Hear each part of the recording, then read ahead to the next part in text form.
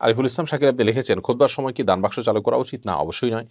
খোদবার সময় এমন কোনো কাজ করা উচিত নয় যেটি খোদবা শোনার ক্ষেত্রে ব্যাঘাত সৃষ্টি করে। এ সময় কথা বলা নিষেধ, কাউকে কথা বলতে নিষেধ, মুখে নিষেধ করাটাও নিষেধ অতএব ইশারায় নিষেধ করতে হবে। সেখানে দান বাক্স চালু করলে দেখা যায় আওয়াজ হয়, ওইদিকে অ্যাটেনশন যায় আমাদের খোদবা শুনতে অসুবিধা হয়। এই জন্য এই টাইমে দান বাক্স চালানো গর্হিত কাজ। আমাদের অনেক মসজিদগুলোতে এটি হয়।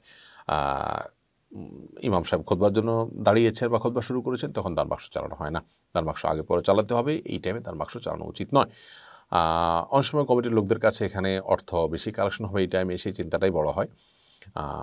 তো সামান্য কিছু পয়সা বেশি হওয়ার জন্য যদি আমাদের গুণা হয়, তাহলে সেটা কোনোভাবে কাম্য হতে পারে না। এই জন্য মসজিদ পরিচালনার আগে ইসলাম সম্পর্কে মৌলিক ধারণা থাকতে হবে। আল্লাহর প্রতি ইমানদার এবং বিশ্বাসী মানুষ হতে হবে, পরকালের প্রতি বিশ্বাসী হতে হবে। তাহলে সেক্ষেত্রে আপনি প্রত্যেকটা বিষয়কে সেই দৃষ্টিকোণ থেকে দেখার সুযোগ পাবেন। অতএব দান বাক্স খোদবা চলাকালীন সময়ে চালাবেন না। তার আগে চালাবেন অথবা সালাতের পরে, সালাম ফেরানোর পরে চালাবেন। খোদবা ওঠার ঠিক আগ মুহূর্তে যদি চালানো হয়, তখন আর খোদবার সময়টাতে খুব বেশি বেশ কম হওয়ার কথা না মানুষ। হয়তো অল্প কিছু মানুষ শেষের দিকে আসবে। বিধায় যদি বেশ কম হয়ও, কিছু টাকা, কিছু কালেকশন বেশি হয়, তারপরও খোদবার সময় এ কাজ করা খোদবার সাথে আপনার মোটেই যায় না। খোদবার জন্য ইমাম যখন দাঁড়ান তখন কোনো কাজ করা নিষেধ। একটা হাদিসে আছে যে সালাদ পর্যন্ত পড়া নিষেধ। অনেক ওলামা ইকরাম আহ, তাহিয়াতুল মসজিদের অনুমতি দিয়েছেন যেহেতু রসুল আকরম সাল্লাহ সাল্লাম খোদবা চালানোর অবস্থায় একজনকে দাঁড়িয়ে সালাদ পড়িয়েছেন। কিন্তু অন্য সাধারণ সালাদ পর্যন্ত এটা নিষেধ। তাহলে আপনি কীভাবে দান বাক্স এই সময় চালাতে পারেন? এটি খোদবা শোনার যে গুরুত্ব এবং তাগিদ রয়েছে তার সাথে যায় না। আল মাহমুদ, আপনি লিখেছেন, জামাত শুরুর দুই এক মিনিট আগে মসজিদে প্রবেশ করলে দুখুল মসজিদ পড়ার সময় হবে না। এক্ষেত্রে বসে যাব নাকি দাঁড়িয়ে জামাত শুরুর অপেক্ষা করব? যেহেতু হাদিসে নিষেধ আছে, নবী সাল্লাহ সাল্লাম বলেছেন যে, কোন তোমাদের কেউ যখন মসজিদে প্রবেশ করে, ইদা দাখাল আহাদুকুম মসজিদ ফালা ইয়াজলিস আও ফালা ইয়াকউদ হাত্তা ইউসাল্লিয়া রাকাতাইন। কোনো তোমাদের কেউ মসজিদে প্রবেশের পর সে দুই রাকাত নামাজ পড়া ছাড়া যেন না বসে। তো এই জন্য এই টাইমটাতে আপনি হয় নিয়ত করে একটু দ্রুততার সাথে সলাৎ পড়ে শেষ করবেন।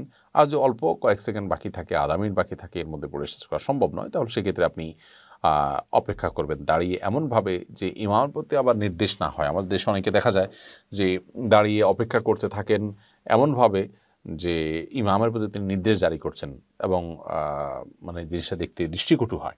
এরকম যেন না হয়। বিশেষ করে সামনের কাতারে মুসল্লি যারা আছেন, বসা আছেন, দাঁড়ায় গেলেন ইমাম আসার আগে। এটা অবশ্যই অভদ্রতা ইমামের প্রতি অসম্মান, যেটা একজন ভালো মুসলমানের আখলাক হতে পারে না।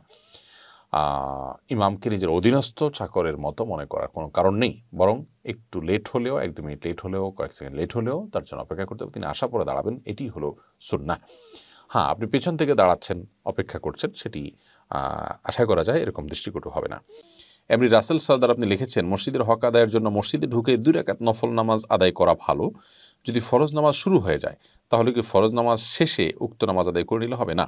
ফরজ নামাজ শুরু হয়ে গেলে ফরজ নামাজে আপনি জয়েন করবেন এবং এটার মাধ্যমেই আপনার ফরজ আদায় হয়ে যাবে, আবার মসজিদে প্রবেশের সালাত আদায় হয়ে যাবে। ওইটা আপনি নিয়ত করে নেবেন যে আমি ফরজ সালাত আদায় করছি, সেই সাথে মসজিদে সালাত আদায় করছি। এখানে মূল বিষয়টা হলো, মসজিদে ঢোকার পর কোনো সালাত আদায় করা ছাড়া বসবেন না। এটা হলো মূল বিষয়।